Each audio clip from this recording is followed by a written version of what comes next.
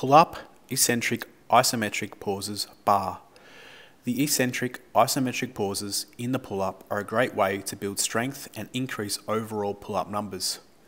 Isometrics are an excellent tool that can be used to increase strength in the range of motion where the isometric is held.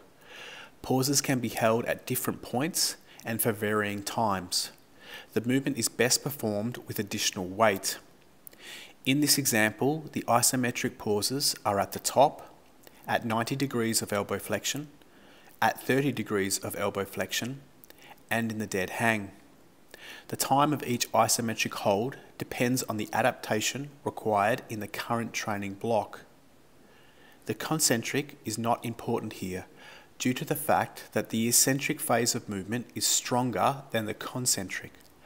By standing on an elevated surface, you can start at the top of the pull-up and focus purely on the eccentric and the isometrics.